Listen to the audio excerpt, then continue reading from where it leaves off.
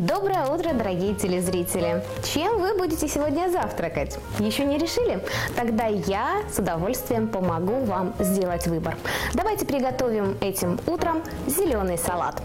А, почему он зеленый? Да потому что все практически ингредиенты, которые используются для его приготовления, зеленого цвета. Итак, нам необходим огурец.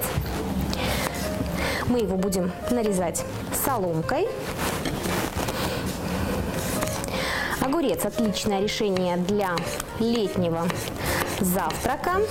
Если вы достанете его прямиком из холодильника охлажденным, успеете быстро нарезать,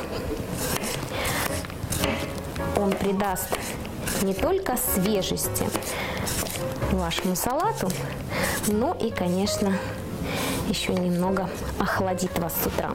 Порой летом бывает уже с утра очень-очень жарко, есть не хочется, но нужно. Вот здесь блюдо из огурца отличное решение этой проблемы. И полезно, и питательно, и довольно свежо. Нарезаем огурчик соломкой. Несколько колечек можно оставить для украшения, что я сразу и сделаю.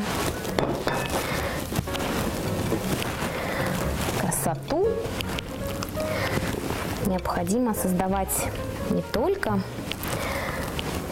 по праздникам, праздничные блюда, конечно же, отличаются своей сервировкой, но и в будни, особенно по утрам, очень-очень хочется нам красоты. Дальше.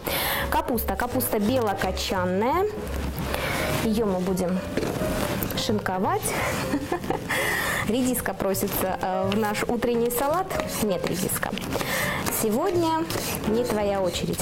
Мелко шинкуем белокочанную капусту. Молодая капуста белокочанная, тоже зеленого цвета. Меленько шинкуем. Капуста хороша в любое время года. Много витамина С, полезных питательных веществ. Ну и что? Какой же зеленый салат без зелени? Давайте посмотрим, что у нас есть. Зеленый лук. Раз. Дальше укропчик. Два. Ну и петрушка. Это три. Все зеленого цвета, пока мы не отступаем от намеченной цветовой гаммы. Сейчас как раз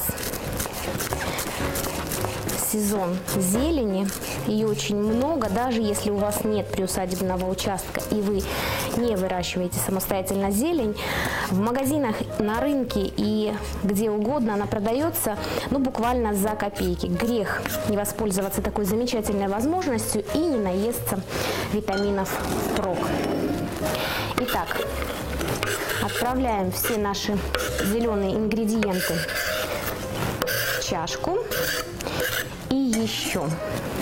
Сейчас как раз сезон зеленого горошка, он уже поспел, но если вдруг э, его не окажется, можно вполне использовать консервированный. У меня молодой свежий зеленый горох. Его тоже можно смело отправлять в наш замечательный зеленый салат.